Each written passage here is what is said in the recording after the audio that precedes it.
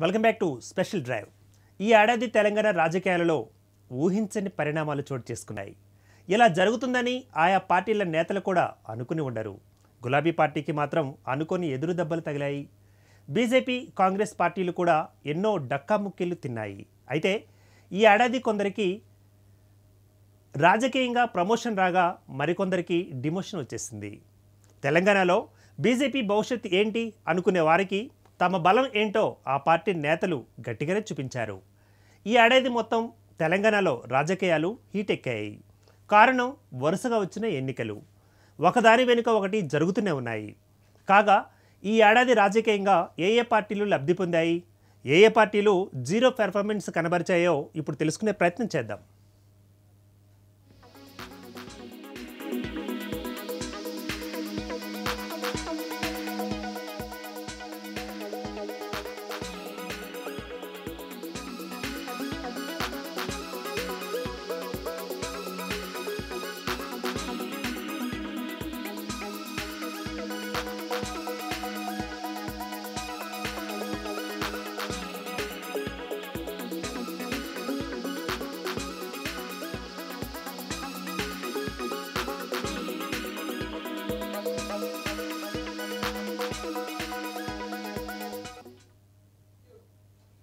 ఇక దాదాపు అన్ని ఎన్నికలలో గులాబీ పార్టీ హవాన్ని కొనసాగినా హుజురాబాద్ ఉప ఎన్నిక మాత్రం షాక్ ఇచ్చింది ఈ ఏడాది ద్వితీయ అర్ధంలో కొత్త అధ్యక్షుడి రాకతో పుంజుకున్న కాంగ్రెస్ పార్టీ అడపాదడపా వివిధ కార్యక్రమాలు పోరాటాలతో తాము ఆప్షన్గా ఉన్నామని చెప్పుకునే ప్రయత్నం చేసింది.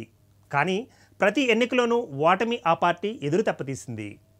గత ఏడాది చివరిలో దుబ్బాక జీహెచ్ఎంసీ ఎన్నికల విజయాలతో బీజేపీలో వచ్చిన జోష్ ఈ ఏడాది కనిపించింది.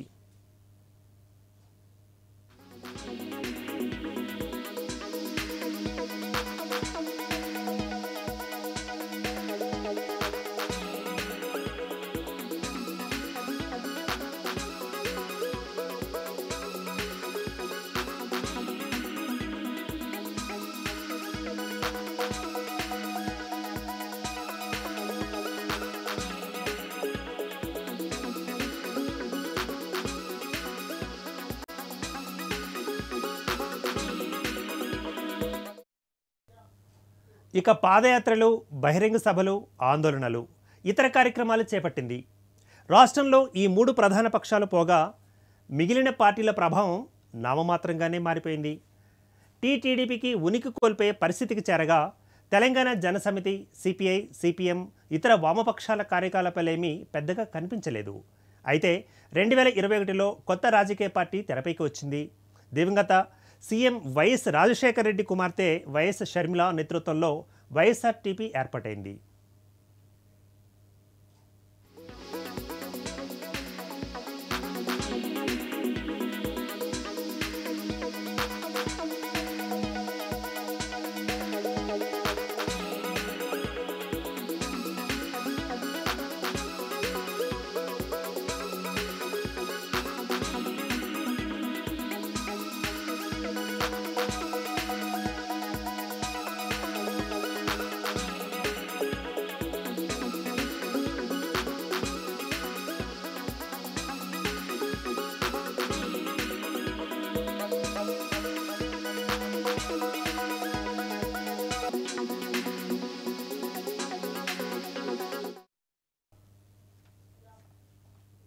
ఇక గత ఏడాది చివరిలో దుబ్బాక ఉప ఎన్నికలో ఓటమి గ్రేటర్ హైదరాబాద్ మున్సిపల్ ఎన్నికలలో మిశ్రమ ఫలితాలు.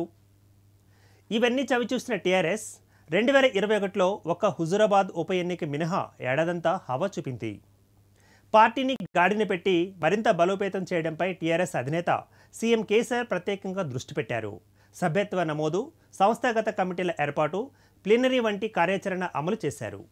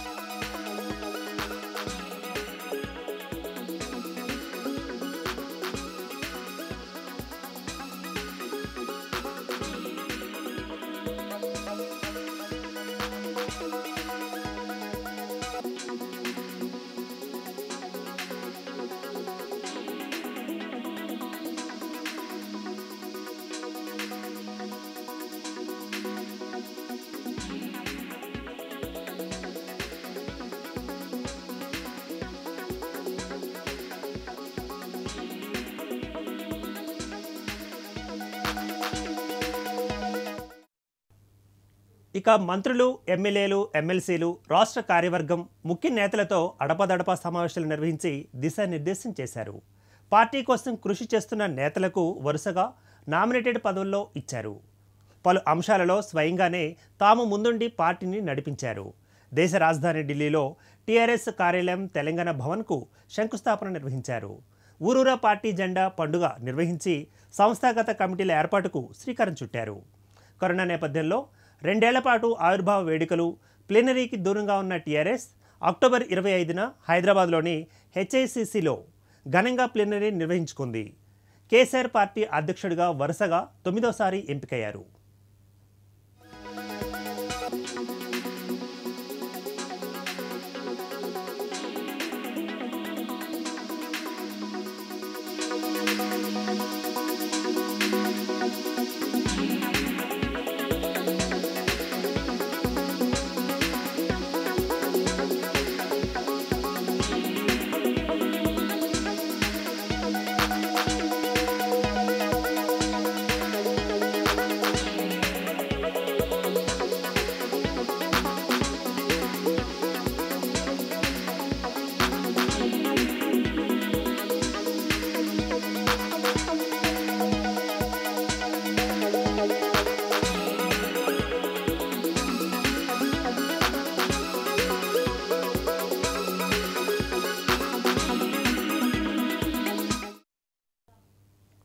ఇక గత ఏడాది చివరిలో జరిగిన జీహెచ్ఎంసీ ఎన్నికలలో మిశ్రమ ఫలితాలు సాధించిన మేయర్ డిప్యూటీ మేయర్ పదవులను టీఆర్ఎస్ కైవసం చేసుకుంది. ఫిబ్రవరి పదకొండున జరిగిన ఎన్నికలలో మేయర్గా గద్వాల విజయలక్ష్మి డిప్యూటీ మేయర్గా మోతే శ్రీలత ఎంపికయ్యారు. ఇక ఏప్రిల్లో వరంగల్ ఖమ్మం కార్పొరేషన్లతో పాటు మరో ఐదు మున్సిపాలిటీలకు జరిగిన ఎన్నికలలో మొత్తం మేయర్ చైర్మన్ స్థానాలను టీఆర్ఎస్ కైవసం చేసుకుంది.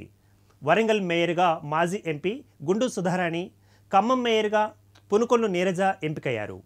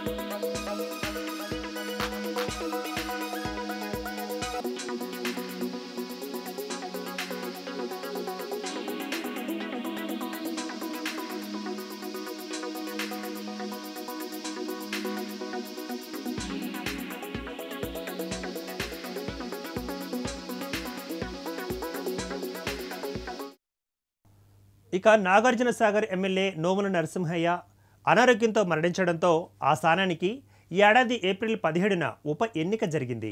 నోముల నరసింహయ్య కుమారుడు నోముల భగత్ను టీఆర్ఎస్ అభ్యర్థిగా కేసీఆర్ ఎంపిక చేశారు. తాను స్వయంగా ఒక సభలో పాల్గొని ప్రచారం కూడా చేశారు. అక్కడ కాంగ్రెస్ తరపున సీనియర్ నేత జానారెడ్డి పోటీలో ఉండడంతో కొంత ఉత్కంఠ నెలకొంది. కానీ పక్కా వ్యూహంతో వ్యవహరించిన కేసీఆర్ నోముల భగత్ను పద్దెనిమిది వేల ఎనిమిది వందల డెబ్బై రెండు ఓట్ల తేడాతో గెలిపించుకున్నారు.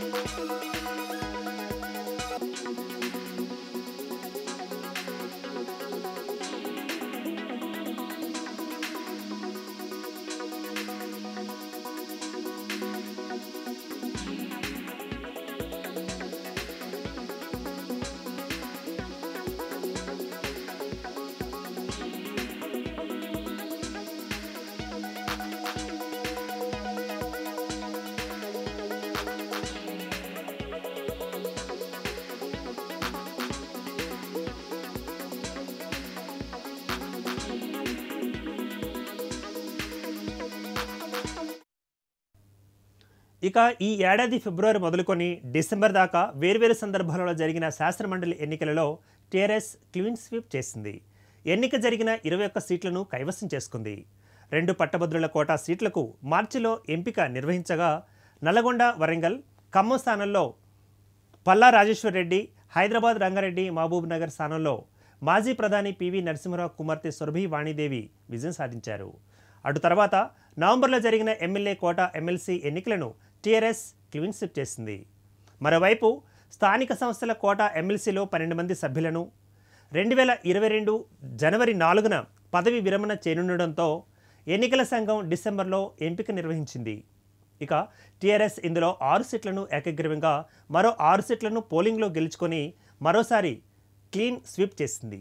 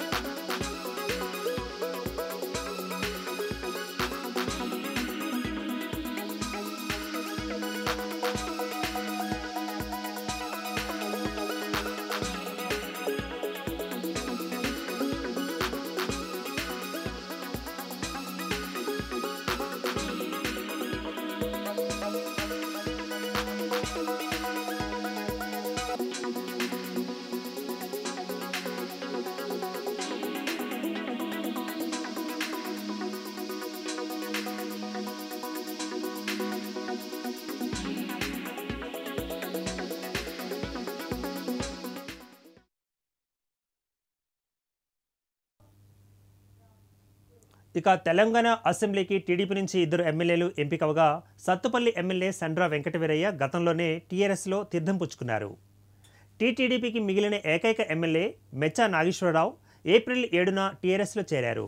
సండ్రా మెచ్చా లేఖ ఇవ్వడంతో టీడీపీ శాసనసభ పక్షం టీఆర్ఎస్లో విలీనంగా మారింది. ఇక టీటీడీపీ అధ్యక్షుడు ఎల్ రమణ కూడా టీఆర్ఎస్లో చేరారు. సీనియర్ నేతలు ఇనుగాల పెద్దిరెడ్డి మోత్కుపల్లి నరసింహులు కాంగ్రెస్ నేతలు పాడి కౌశిక్ రెడ్డి చల్మిడ లక్ష్మీ నరసింహారావు కూడా గులాబీ తీర్థం పుచ్చుకున్న వారిలో ఉన్నారు. మరోవైపు వివిధ సందర్భాలలో మాజీ ఎమ్మెల్యే ఏనుగు రవీందర్ రెడ్డి తులా ఉమా గట్టు రామచంద్రరావు తదితరులు టీఆర్ఎస్ను వీడారు.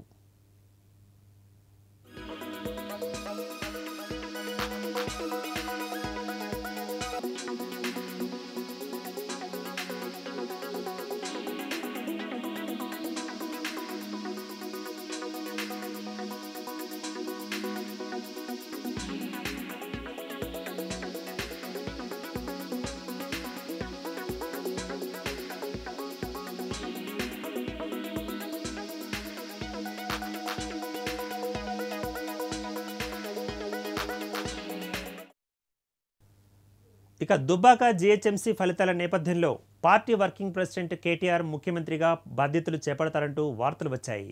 ఫిబ్రవరి ఏడున తెలంగాణ భవన్లో మంత్రులు ఎమ్మెల్యేలు ఎమ్మెల్సీలు కీలక ప్రజాప్రతినిధులు నేతలతో నిర్వహించిన విస్తృత స్థాయి సమావేశం సందర్భంగా సీఎం కేసీఆర్ ఆ ప్రచారానికి స్వయంగా చెక్ పెట్టారు. మరో పదేళ్ళు నేనే సీఎంగా ఉంటా. ఏదైనా ఉంటే అందరితో చెప్పి నిర్ణయం తీసుకుంటా.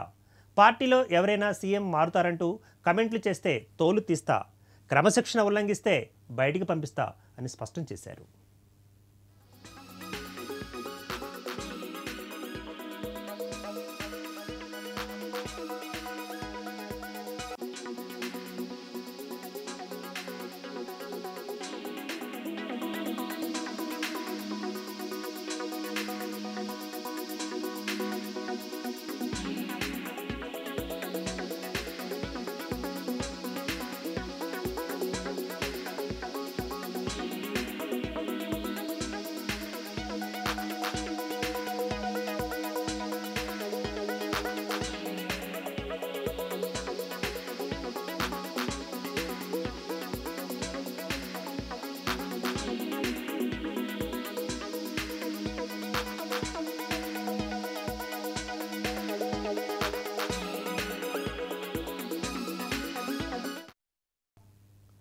ఇక ఆవిర్భావం నాటి నుంచి టీఆర్ఎస్లో కొనసాగి కీలక నేతగా ఎదిగిన ఈటెల రాజేందర్ ఎపిసోడ్ టీఆర్ఎస్లో భారీ కుదుపుకు కారణంగా మారింది. గులాబీ జెండాకు మేమే ఓనర్లం అంటూ ఈటెల చేసిన వ్యాఖ్యలు వివాదాస్పదంగా మారాయి. తర్వాత ఈటెల ఆయన కుటుంబ సభ్యులు భూ ఆక్రమణలకు పాల్పడినట్లు ఆరోపణలు వచ్చాయి. దీంతో కేసీఆర్ మే ఒకటిన ఈటెలను మంత్రివర్గం నుంచి తప్పించి వేశారు. జూన్లో ఈటెల టీఆర్ఎస్కు ఎమ్మెల్యే పదవికి రాజీనామా చేసి బీజేపీ తీర్థం పుచ్చుకున్నారు. దీంతో అప్రమత్తమైన కేసీఆర్ హుజురాబాద్లో పార్టీ క్యాడర్ చేజారకుండా చర్యలు చేపట్టారు. కానీ హుజురాబాద్ ఉప ఎన్నికలలో ఈటల ఇరవై మూడు వేల ఎనిమిది వందల యాభై ఐదు ఓట్ల తేడాతో గెలుపొందారు.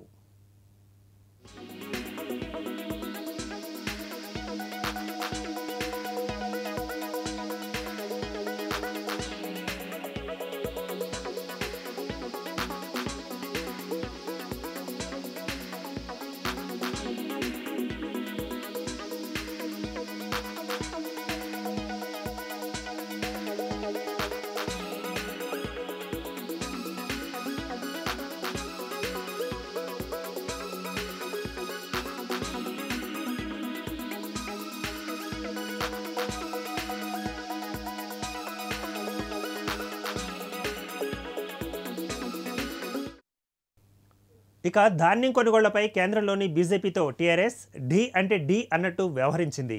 నవంబర్ ఒకటిన మంత్రులు టీఆర్ఎస్ ఎమ్మెల్యేలు ధర్నాలు చేశారు. తర్వాత సీఎం కేసీఆర్ స్వయంగా రంగంలోకి దిగారు.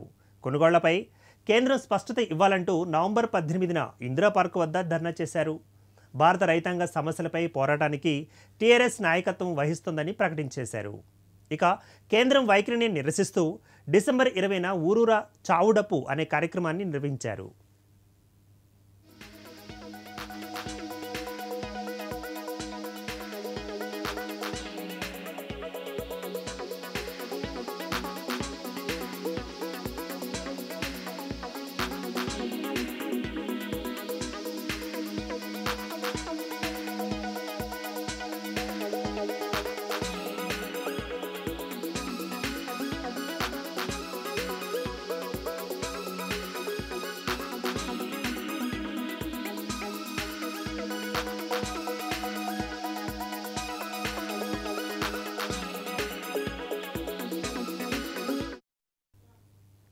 ఇక కొన్నేళ్ళుగా స్తబ్దుగా ఉండిపోయిన కాంగ్రెస్ పార్టీలో రెండు వేల ఇరవై ఒకటి కొంత కదలిక తెచ్చింది.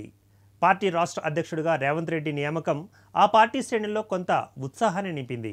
ఈ ఏడాది జూలై ఇరవై ఏడున రేవంత్ బాధ్యతలు చేపట్టిన నుంచి పార్టీ పక్షాన విస్తృతంగా కార్యక్రమాలు చేపట్టి క్యాడర్లో కదలిక తీసుకొచ్చే ప్రయత్నం చేశారు. అయితే సీనియర్ల సహాయ నిరాకరణ అంతర్గత కలహాలు సర్దుబాట్లతో కాంగ్రెస్ నావా ఎటూ కదలకుండా చిక్కుబడిపోతుందన్న అభిప్రాయాలు ఆ పార్టీ వర్గాల్లో వ్యక్తమవుతున్నాయి.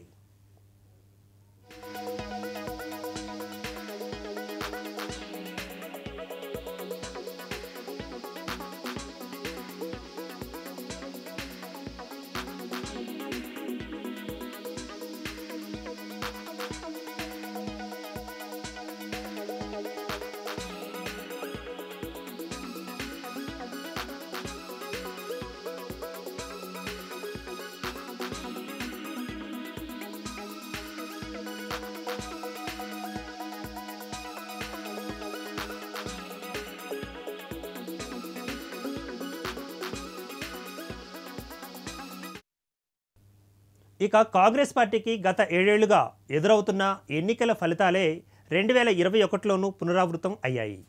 నాగార్జున సాగర్ ఉప ఎన్నికలలో ఆ పార్టీ సీనియర్ నేత కె జానారెడ్డి ఓడిపోగా హుజురాబాద్ ఉప ఎన్నికలో నిర్లక్ష్యం గట్టి దెబ్బతీసింది. ఇక్కడ పార్టీ అభ్యర్థి బల్మూరి వెంకటకు మూడు వేల ఓట్లు మాత్రమే రావడంతో క్యాడర్ నిరాశల పడిపోయింది. అంతకుముందు మున్సిపల్ ఎన్నికల్లోనూ కాంగ్రెస్ ఆశించిన ఫలితాలను రాబట్టుకోలేకపోయింది. పట్టభద్రుల ఎమ్మెల్సీ ఎన్నికల్లోనూ పరాజయం పాలైంది. అయితే ఇటీవలి స్థానిక సంస్థల ఎమ్మెల్సీ ఎన్నికల్లో మాత్రం తాము పోటీ చేసిన రెండు చోట్ల తమకు ఉన్న ఓట్ల కంటే ఎక్కువ ఓట్లు సాధించి ఊరట పొందింది.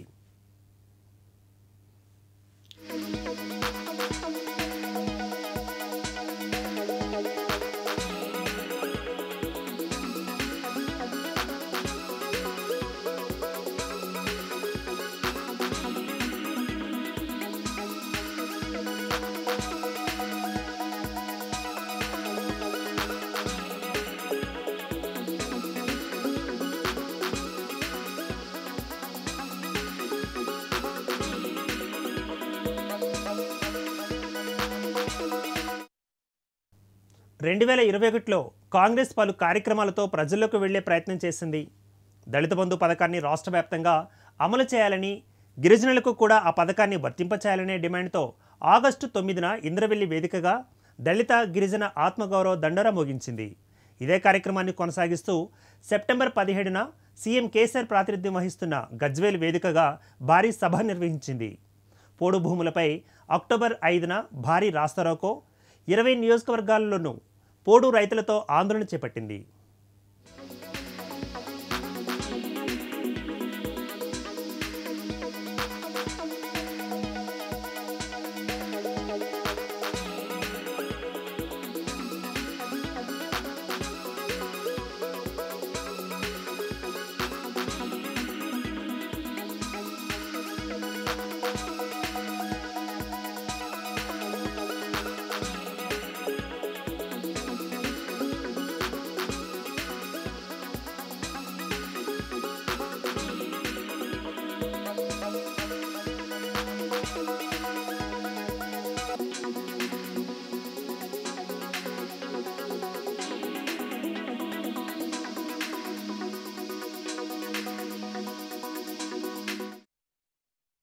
అంతకుముందు సెప్టెంబర్ ఇరవై రెండున కేంద్ర రాష్ట్ర ప్రభుత్వాల ప్రజా వ్యతిరేక విధాలను నిరసిస్తూ ఐ ఇందిరా పార్కు వద్ద కాంగ్రెస్ ఆందోళన చేపట్టింది.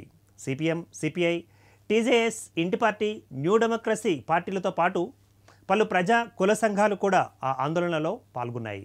ఇక నిరుద్యోగ విద్యార్థి జంగ్ సైరన్ పేరుతో ఉద్యోగాలు స్కాలర్షిప్ల కోసం అక్టోబర్ రెండున ఎల్బీ నగర్లోని శ్రీకాంతాచారి విగ్రహం వద్ద కాంగ్రెస్ చేపట్టిన కార్యక్రమం ఉద్రిక్తతకు దారితీసింది.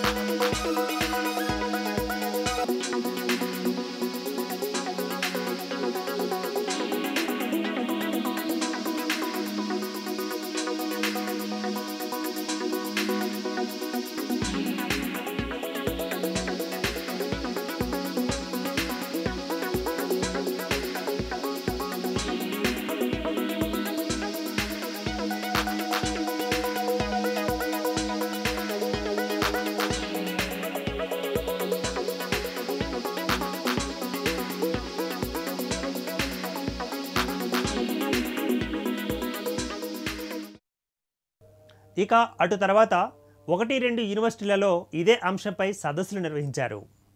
అయితే డిసెంబర్ తొమ్మిదిన రాహుల్ గాంధీతో పరేడ్ గ్రౌండ్స్లో నిర్వహించాలి అనుకున్న సభ సాధ్యం కాలేదు. ఏడాది చివరిలో రాష్ట్ర రాజకీయాల్లో రచ్చరేపిన ధాన్యం కొనుగోళ్ళ అంశంలోనూ కాంగ్రెస్ క్రియాశీలకంగానే వ్యవహరించిందని చెప్పాలి. ఇందిరాగాంధీ పార్క్ వేదికగా రెండు రోజుల పాటు దీక్ష చేసిన ఆ పార్టీ నేతలు అటు బీజేపీకి ఇటు టీఆర్ఎస్కు ధీటుగానే కౌంటర్ ఇచ్చారు. Thank you.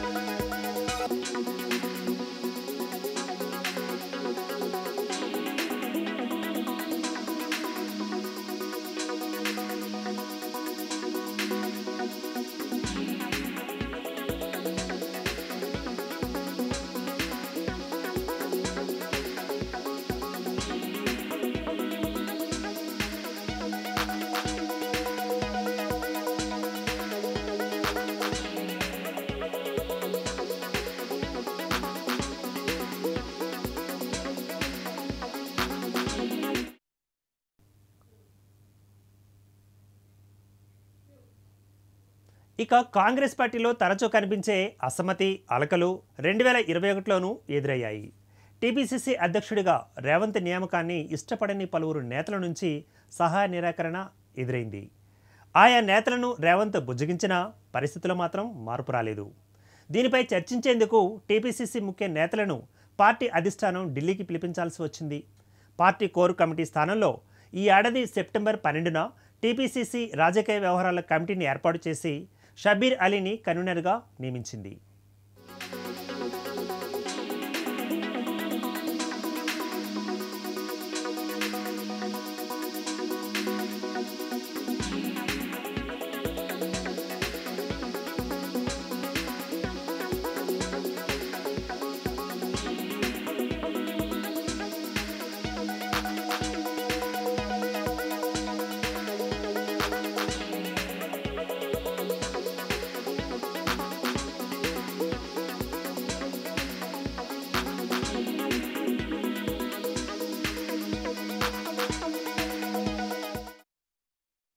ఇక రెండు వేల ఇరవై చివరిలో వచ్చిన గెలుపుతో రెండు వేల ఇరవై ఒకటిలోకి ప్రవేశించిన బీజేపీ అదే ఊపును కొనసాగించింది.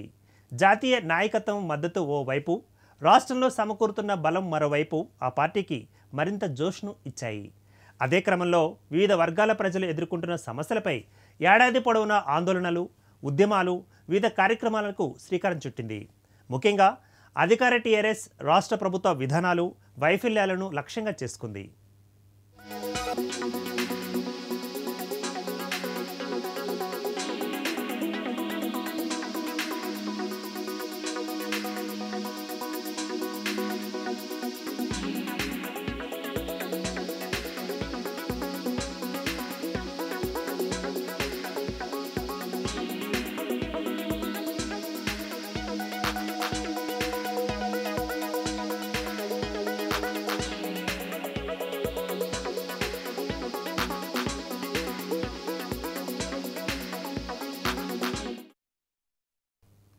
అక్కడితో ఆగకుండా సై అంటే సై అంటూ పోటీ కార్యక్రమాలు చేపట్టింది. రాష్ట్రంలో టీఆర్ఎస్కు ప్రత్యామ్నాయం బీజేపీనే అంటూ జనంలోకి వెళ్ళిపోయింది.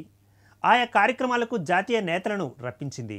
హైదరాబాద్ విమోచన దినోత్సవాన్ని సెప్టెంబర్ పదిహేడున అధికారికంగా నిర్వహించాలనే డిమాండ్తో టీఆర్ఎస్ సర్కార్పై ఒత్తిడి పెంచేందుకు రాష్ట్రంలో మెజారిటీ వర్గం ఓటు బ్యాంకును కొల్లగొట్టేందుకు బీజేపీ అగ్రనేత అమిత్ షాతో నిర్మల్లో సభ నిర్వహించింది.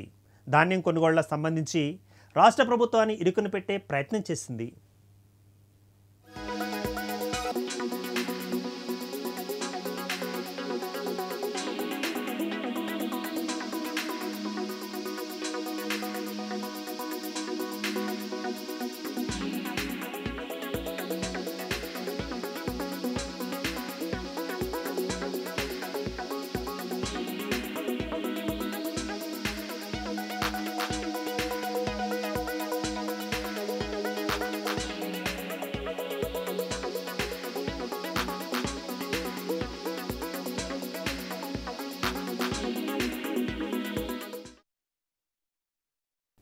సీఎం కేసీఆర్ మంత్రులపై బండి సంజయ్ ఇతర ముఖ్య నేతలు నేరుగా విమర్శలు ఆరోపణలు సంధిస్తూ సవాళ్ళు విసురుతూ టీఆర్ఎస్ నాయకత్వం తప్పనిసరిగా స్పందించాల్సిన పరిస్థితులను కల్పించారు. తద్వారా జనంలో బీజేపీ వైపు దృష్టి మరలేలా చేయగలిగారు. ఇక ముందు కూడా ఇదే ఊపు కొనసాగించేందుకు బీజేపీ ఏర్పాట్లను చేసేసుకుంది.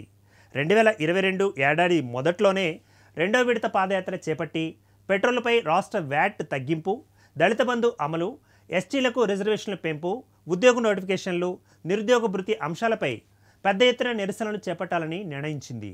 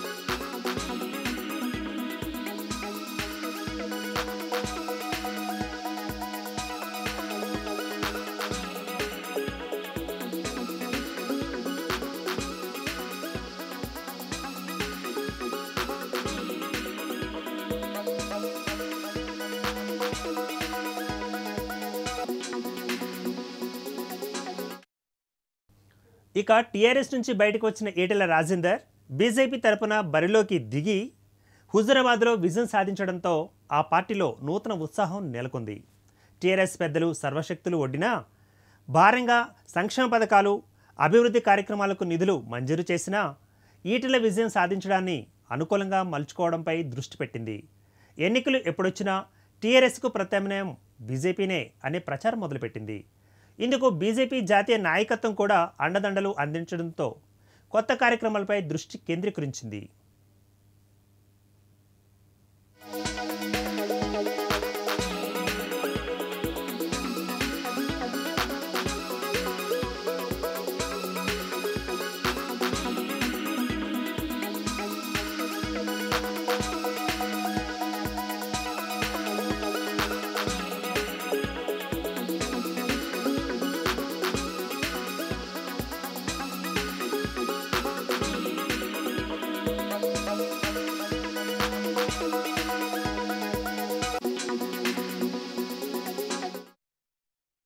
ఇక కేంద్ర హోంశాఖ సహాయ మంత్రిగా ఉన్న కిషన్ రెడ్డికి ఈ ఏడాది కేంద్ర కేబినెట్ మంత్రి హోదా లభించింది.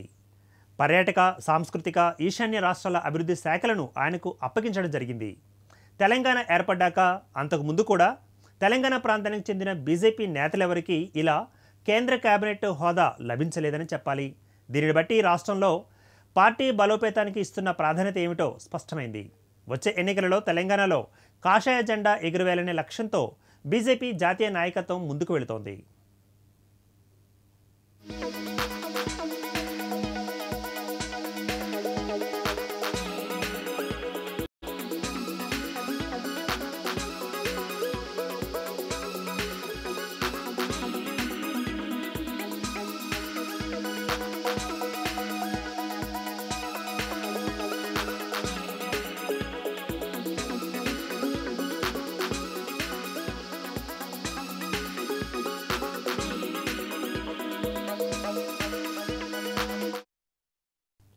ఇక తెలంగాణలో ఈ ఏడాది మరో కొత్త పార్టీ తెరపైకి వచ్చింది. దివంగత ముఖ్యమంత్రి వైఎస్ రాజశేఖర రెడ్డి కుమార్తె వైఎస్ షర్మిల తాను రంగంలో ఉన్నానంటూ వైఎస్ఆర్టీపీ పార్టీని స్థాపించారు. పార్టీని ప్రారంభించినప్పటి నుంచి ఆమె ప్రజల్లోనే ఉంటూ వివిధ కార్యక్రమాలు చేపడుతున్నారు. నిరుద్యోగ దీక్షలు పాదయాత్రలు రైతు ఆవేదన దీక్షలు నిర్వహిస్తూ వస్తున్నారు. ఆత్మహత్య చేసుకున్న రైతులు ఇతర బాధితుల కుటుంబాలను పరామర్శించి వాదర్పు ఇస్తున్నారు. తాను అండగా నిలుస్తానంటూ భరోసా ఇస్తున్నారు. ఇదే సమయంలో రాష్ట్ర ప్రభుత్వ వైఫల్యాలు ప్రభుత్వ పెద్దల తీరుపై గట్టి విమర్శలు గుప్పిస్తున్నారు. ఇతర పార్టీల నుంచి ఆశించిన మేరకు చేరికలు లేకపోయినా మెల్లగా ప్రస్థానాన్ని ముందుకు తీసుకువెళ్తున్నారు.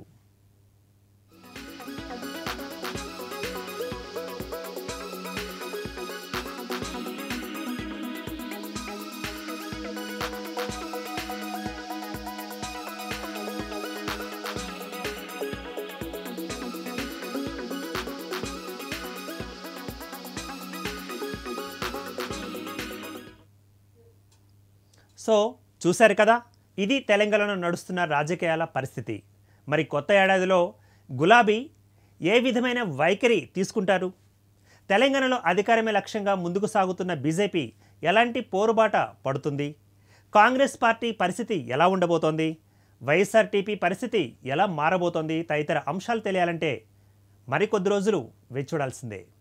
If you like this video please like it share it and for more videos, please subscribe to our channel.